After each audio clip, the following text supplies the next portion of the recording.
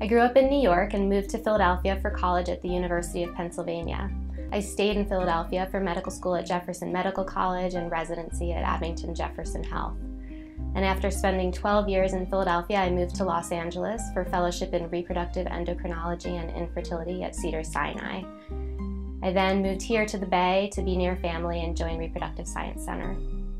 One of my particular interests and what some of my research has focused on is uterine factors in infertility. For example, the impact of fibroids and the surgical removal of fibroids on fertility, as well as the concept of endometrial receptivity or the ability of the uterine lining to attach the embryo, which involves synchronizing the development of the uterine lining with that of the embryo to allow for successful implantation being able to help couples deal with sensitive and difficult issues, being with them and creating strong relationships through their journey, and celebrating with them and their successes is so incredibly rewarding.